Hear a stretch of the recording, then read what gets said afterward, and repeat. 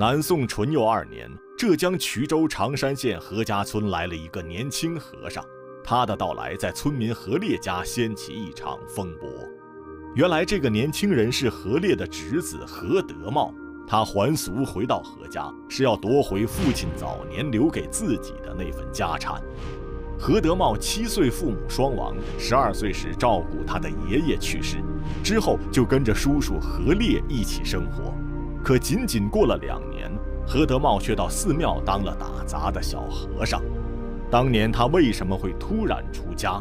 十几年后还俗归来，何德茂能不能要回属于自己的家产？许昌学院王忠灿副教授为您解读《大宋奇案：僧人还俗争家产》上集。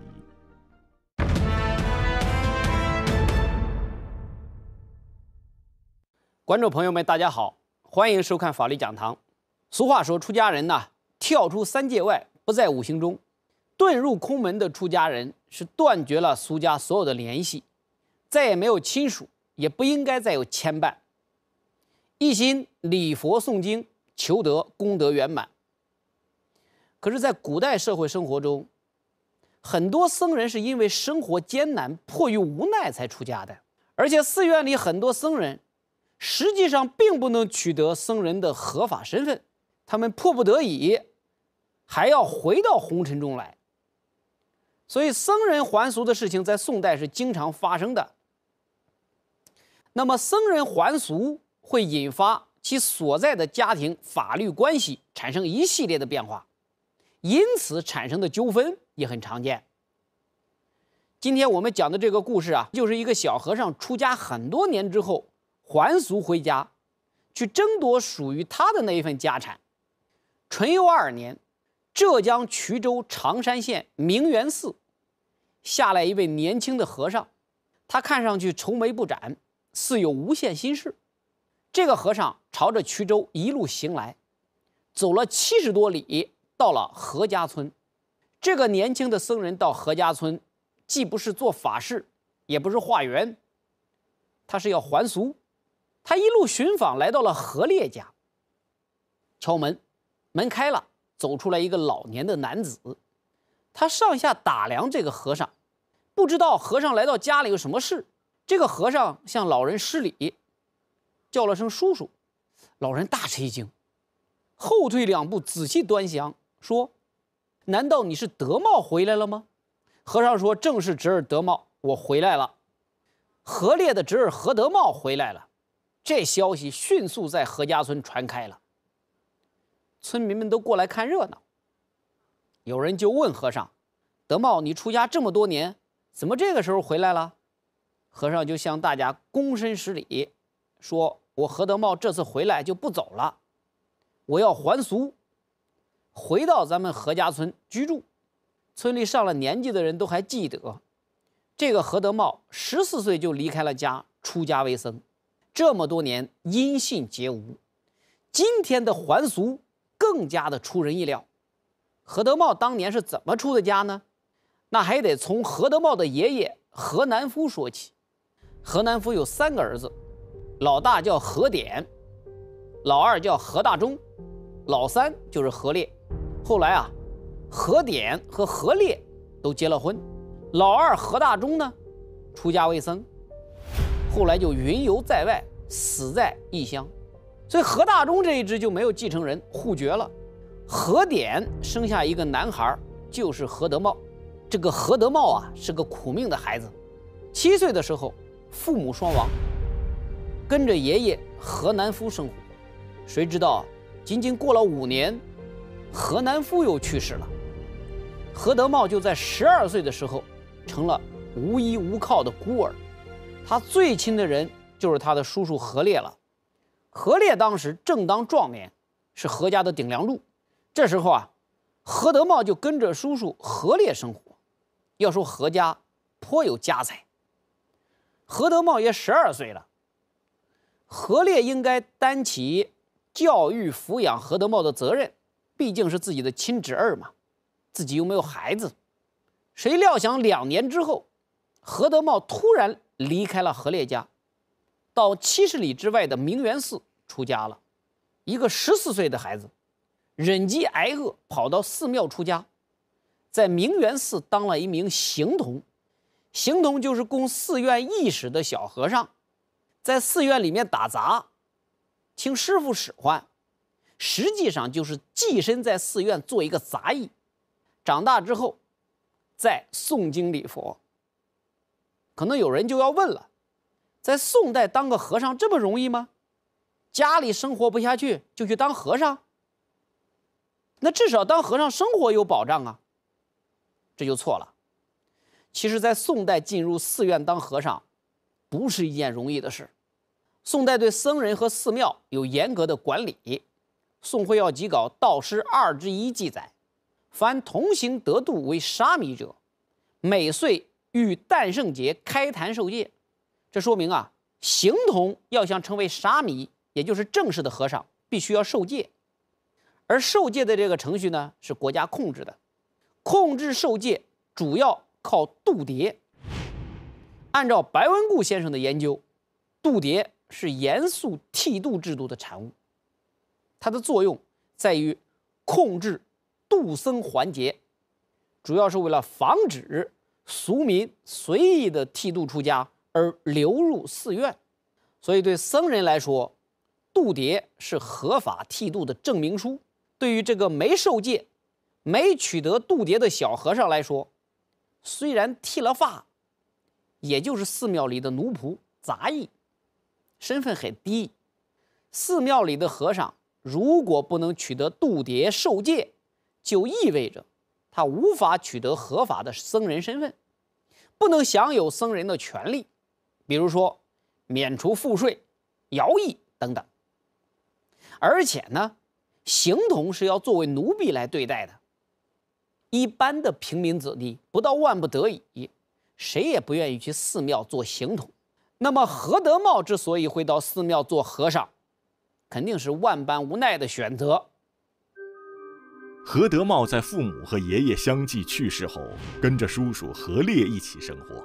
可他在叔叔家仅仅待了两年，却离开何家，进入寺庙当起了和尚。一个十四岁的孩子就遁入空门，应该是万般无奈的选择。那么他在叔叔何烈家生活的两年时间发生了什么？出家十几年后，何德茂为何还要还俗回到何家夺回属于他的家产？他离家时，叔叔何烈还没有子嗣，此时回来，何德茂又将面临何家怎样复杂的家庭关系？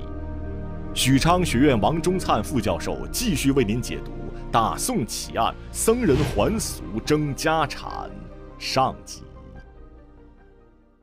按照一般的常理来判断，十二岁的何德茂进入何烈家，肯定是没有受到很好的照顾。一个十二岁的男孩，到了叔叔家，跟叔叔一起生活，如果是个好叔叔，他能做到视如己出。教育抚养孩子长大成人，即便做不到视如己出，那也得把孩子拉扯大。但是如果遇到私心重的叔叔就不行了，因为侄儿虽然是近亲属，但毕竟不同于自己亲生的孩子，侄儿还要和叔叔有利益冲突呢。因为在家产的继承和分配中，两个人的地位是平等的。按照宋代的法律规定啊。何德茂继承的份额和何烈继承的份额一样多，为什么这么说呢？何大中去世后，何家的家产的继承人实际上就剩下了大房和三房。大房现在只剩下何德茂，三房是何烈。如果没有何德茂，何烈就可以继承何家全部的家产。所以你看，两个人虽然是叔侄。但是实际上，在家产的继承中，存在着竞争关系。现在，何德茂还需要何烈的抚养照顾。何烈只要有私心，就会利用自己的优势地位，做出对何德茂不利的事情来。因为何德茂毕竟只是个孩子啊，更何况当时何烈家也很复杂。何烈娶妻，但是没有生子。他想儿子都想疯了，还有纳妾的打算。所以何烈显然是想让自己的儿子来继承家产。现在何德茂跟着他生活，自己没有儿子，那将来何德茂长大之后就可以继承自己的家产啊。那么整个老何家的财产就全归了何德茂了。所以何烈对于何德茂的态度就可想而知。就在何德茂的爷爷何南夫去世两年后，何德茂愤然地离开了何烈家，削发为僧。削发为僧意味着什么呢？意味着尘缘已断，和原来的亲属断绝关系。何家等于没有这个人了。对于家族来说，大房何典这一支就绝后了，没有人再继承香火、传宗接代。何典这一房的家产就是户绝财产了，加上何大忠，何家两门户绝。这对于一个家族来说是一件悲惨的事情，所以爷爷何南夫在临死之际，本来是将何德茂托付给何烈的，叮嘱他一定要善待德茂，把他养大，继承大哥何典的后嗣。但是家族的不幸却是何烈的幸事，那两门的互绝恰恰可以把家财都汇聚到他自己手中。所以，何德茂离家出走，可能正合他意。以后他就可以一心一意地经营家产，然后再生个儿子继承家业。可是让何烈没有想到的是，他一直没有养育儿子。何烈有一个非常厉害的老婆，紧紧地盯着何烈，绝不允许他纳妾。何烈慢慢的年纪就大了，生子眼看是没有希望了。这个时候。他想起当年何德茂，才有些后悔，但是没有办法，何德茂已经离家出走了，不知道是死是活，但是也得立嗣啊，不然整个何家就变成了户绝之家了，怎么办？同宗没有侄子，只有找外姓，何烈就抱养了一个叫喜孙的男孩，作为养子。养在家中，而妻子有了养子呢，就慢慢的放松了对何烈的控制和约束。何烈终于找了个机会，纳了个小妾。纳妾之后，很多年也没有生育。就在何烈风烛残年，已经不抱任何希望的时候，哎，他的小妾怀孕了，十月怀胎，一朝分娩，生下一个男孩。这可真是老来得子啊！取名是吴老，何烈这份高兴就甭提了。高兴归高兴，可是马上面临的问题就是养子和亲生子的关系如何处理。要知道，养子在先，一直被妻子妙氏养在膝下，而何烈的小妾生的这个孩子，他虽然是何烈的亲生儿子，但是是庶子。接下来，谁来继承宗挑？如何分家就成了个问题。何烈的年龄越来越大，这个问题就到了非解决不可的时候。就在何烈家家庭关系越来越紧张的时候，他的侄子离家出走十几年的何德茂回来了。那么何德茂怎么就突然回到了何家呢？他回家是要干什么呢？原来啊，何德茂刚到寺里的时候才十四岁。属于寺庙里的行童，就是庙里打杂的小和尚，实际上就是仆人，在寺里面砍柴、挑水、烧火做饭、种田、洗衣，什么活都得干。慢慢，何德茂就长大了，变成了个成年的和尚了。他也懂得很多事理了，身体也强壮了。不断的有人和他谈起他的身世，就问他：何德茂出家的时候已经懂事了，他知道自己。为什么来的明源寺？他和别人谈起往事的时候，就说啊，当年叔叔婶子欺负自己的事儿。原来啊，十二岁的何德茂进了何烈家，受到何烈和他家人的白眼和冷遇。婶子妙氏经常打骂，叔叔何烈也是不闻不问，放纵家人，凌辱何德茂。十二岁的何德茂啊，孤苦无依。感觉何家再也不是他的容身之所，无奈之下才选择了出家，在寺庙中当了个小小的行童。现在他长大了，越想越觉得心不甘。凭什么？凭什么我要被逼出家呢？我还有一份产业呢。现在我出家了，他们把我的财产给吞了，他们打我、骂我、逼我出家，不就是为了谋取我的这份家产吗？我就不能让他们得逞。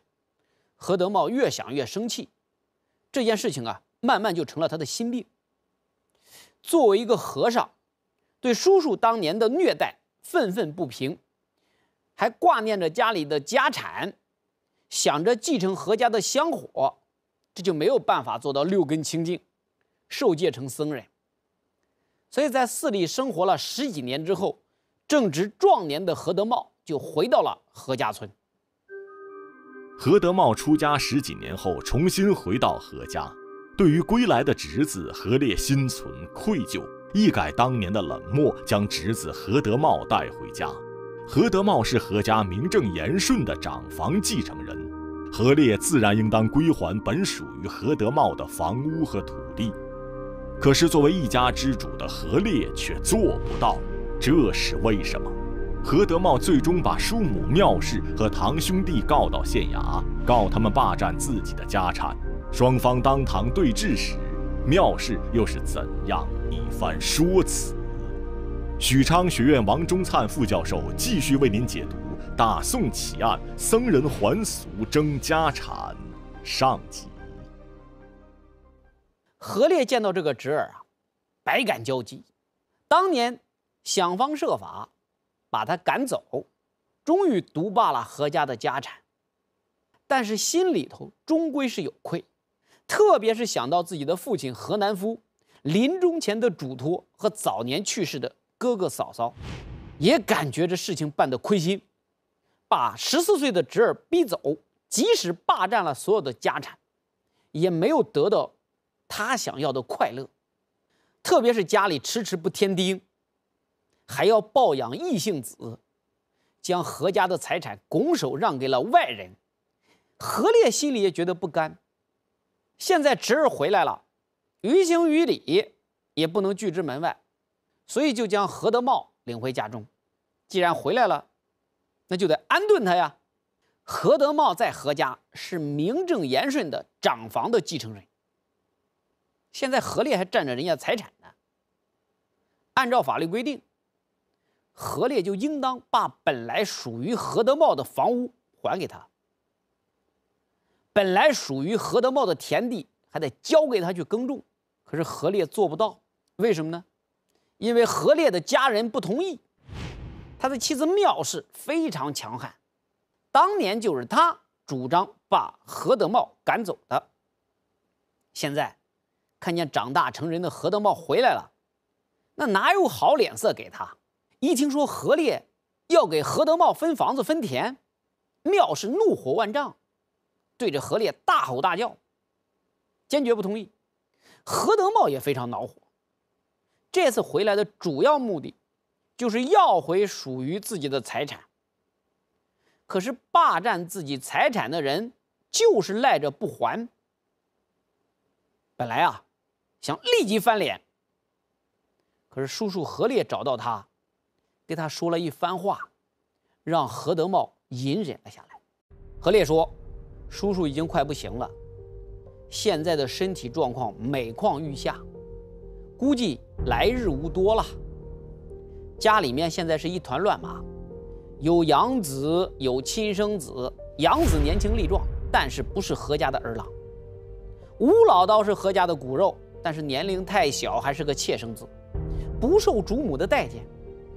现在，你的家产，叔叔是没有精力给你分了。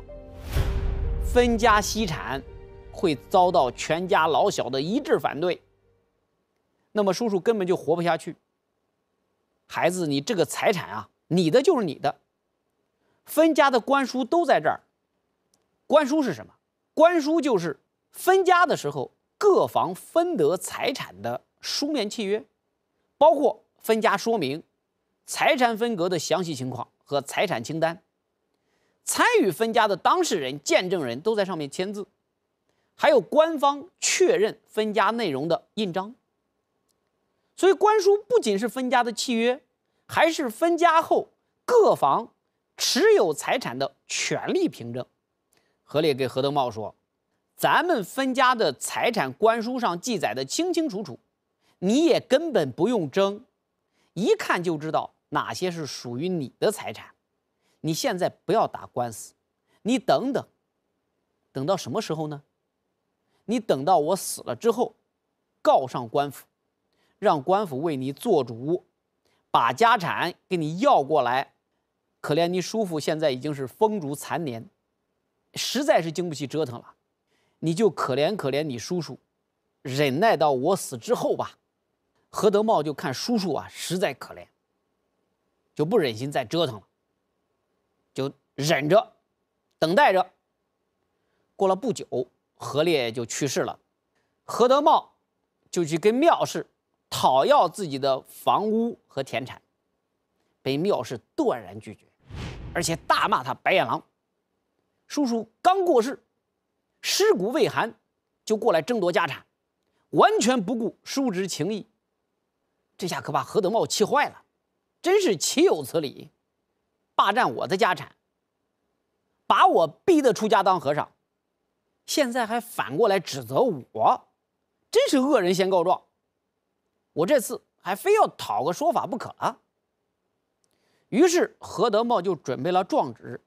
到常山县去告状，要求叔母庙氏将霸占自己的田产房屋归还，要求重新分家，请求知县大人为他做主。这时啊，何德茂已经留起了长发，穿上了普通人穿的衣服，俨然是一个年轻的后生。当时审判此案的法官正是翁府翁浩堂。翁府字景山，号浩堂，福建崇安人，现在的武夷山市，理学家学渊源深厚。父亲叫翁毅，是朱熹的弟子蔡元定的门生，所以相当于是朱熹的三传弟子。